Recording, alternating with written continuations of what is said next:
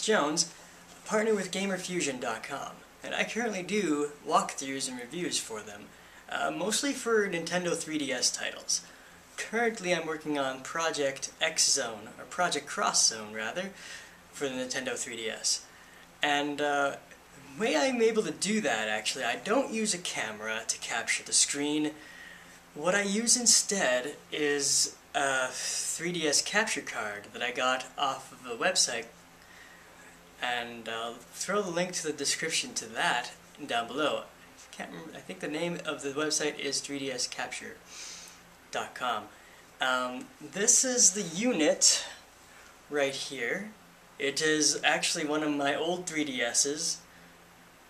I yeah, I recently purchased a 3DS XL and figured I would send this away to get the uh, the capture card on it. Basically, as you can see, there's an extra plate on the bottom with a USB port and that's what connects to the, uh, to the computer to capture the gameplay. And I'm going to show you my setup for that. Uh, actually, I did do a setup video earlier when I first unboxed the, the 3DS with the capture card put into it. Uh, but that that video is kind of rubbish because I've found a, another way of a new setup. I found a, I discovered a new setup that I think works a little bit better. Um, if you were thinking that I uh, capture the video with a camera, I I don't do that. But I have found a rather good instructional video on how to do that if you can't afford to get a 3DS capture card. It is a fair amount of money. I think mine was close to around $300 Canadian. Um, yeah, and, that, and that's just me sending in my old 3DS to them. You can also buy them with them built in, buy a three, whole 3DS with a uh, capture card built in, and that's probably, that was like almost twice that amount. So anyway, show you, put that description, that link in the description below. So I guess, to start off with the old setup. First, what I would do is, of course, attach the USB cord to the back of the 3DS, like so.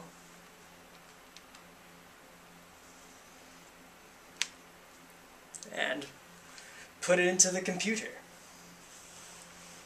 Now, this USB, micro USB cord came with the 3DS capture card when I unboxed it. So, there we have it.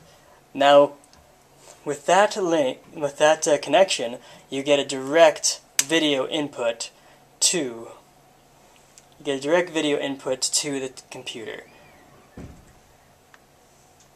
And so, another thing, another thing we need to plug in is a long headphone jack, a long headphone cord with a filter, a noise filter. This goes into, of course, the uh, headphone jack of the uh, 3DS. Make sure that's getting there good and tight. Now what I did in my old setup is I picked up a pair of uh, headphone splitters and this I would plug the one cord that is connected to the 3 to the 3DS to one of them. Oops.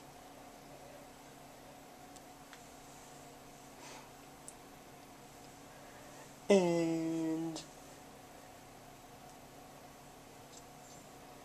and the other I would plug in a pair of headphones or a headset. But what I found out the hard way from doing some other videos is that when you do this, you pick up a little bit of your voice on the video track that's being captured by the computer.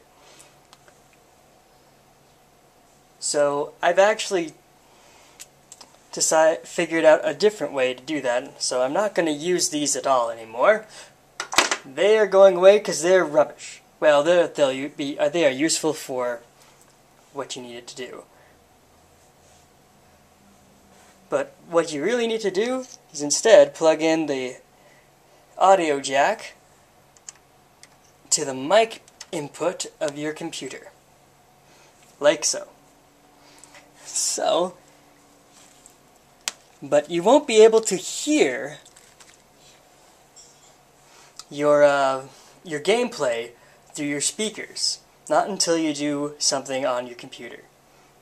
And I'll show you what that is in just a moment.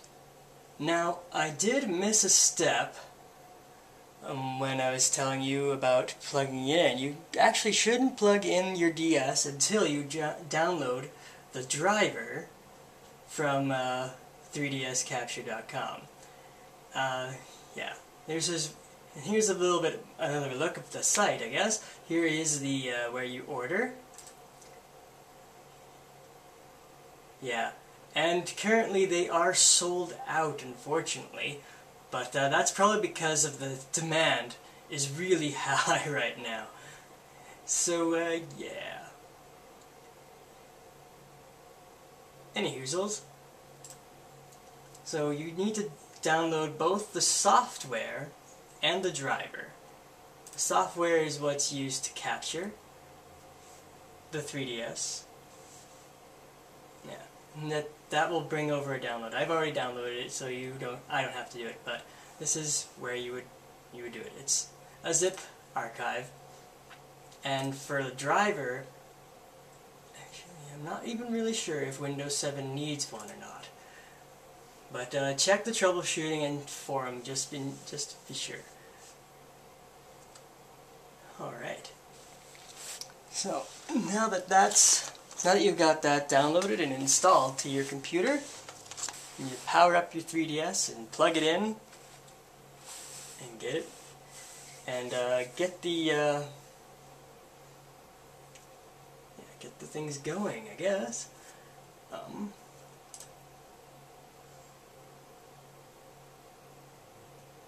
one thing you would like, one thing that will be helpful to you in recording it recording your game is to be able to listen to the game. You can't hear it unless you put a headphone splitter in, or if you do this, you go to your sound and pick up recording, and I have it plugged into the front mic. So you click on it and hit your properties and toggle over to listen. Check the box that says listen to device.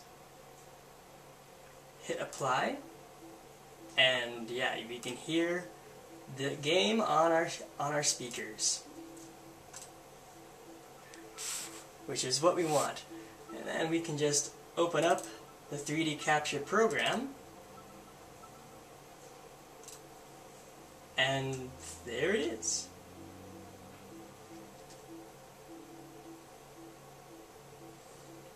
Yeah, looks like I have a bit of frame droppage, but not too badly might be because of the uh, program I'm using to capture uh, the desktop.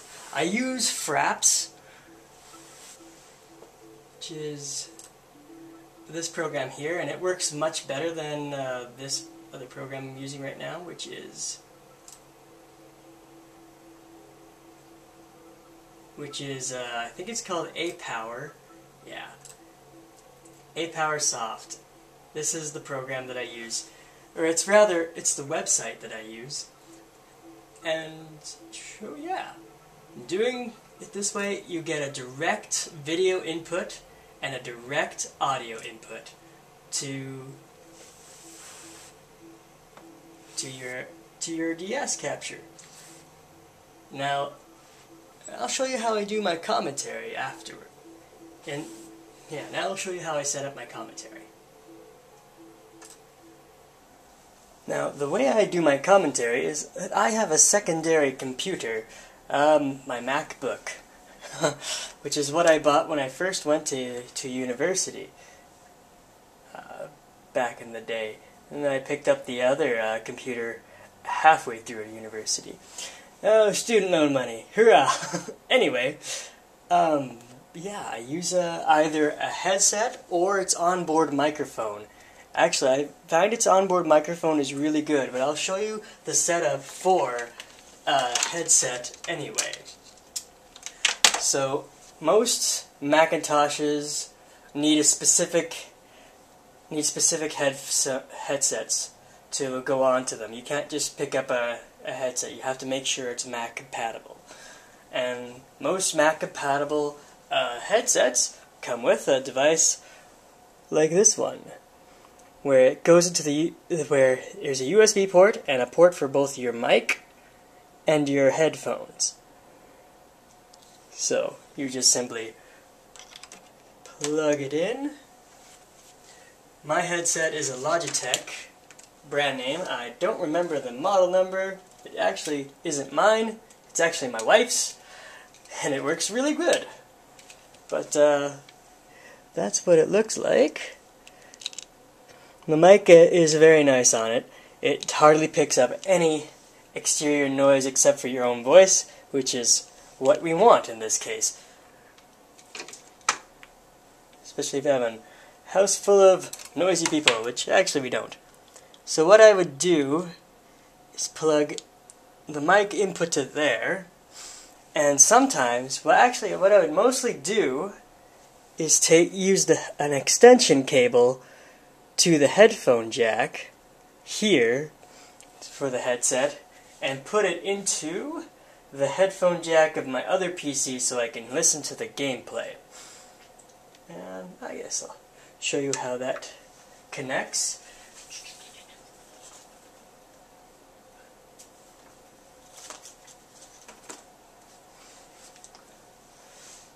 So here I have in the extender the the female end goes into here.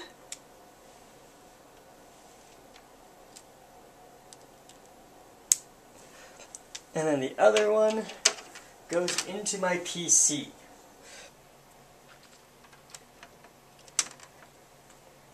And that's how the headset works. Okay.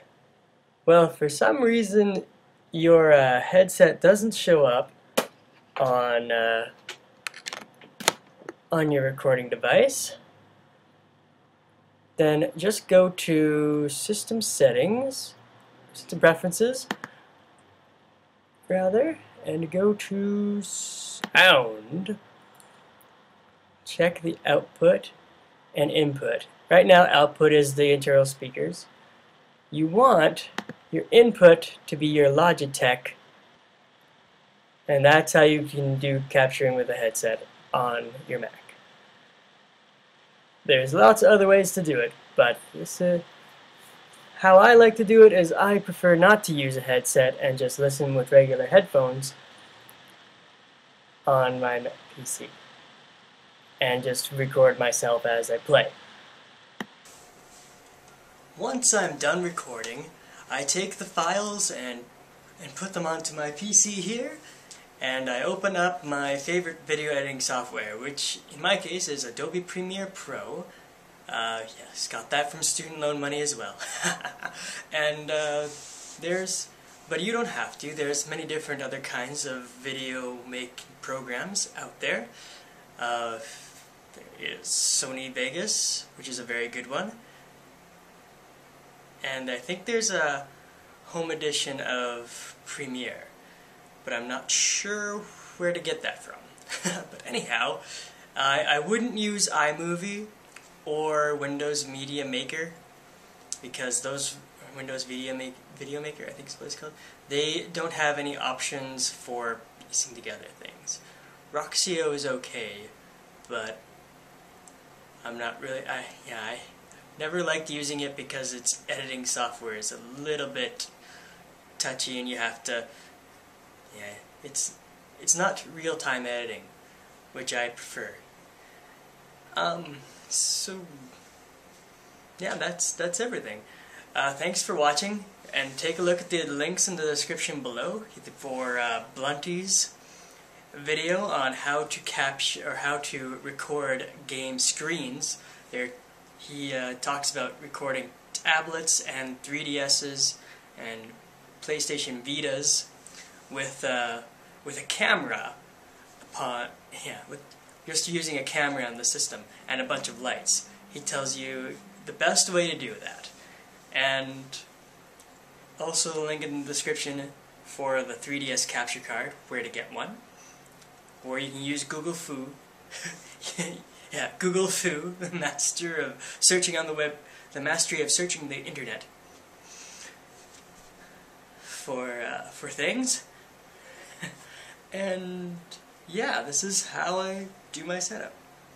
Thank you so much for watching, and remember, Gamer Fusion empowers your gaming, and have a good day. Bye.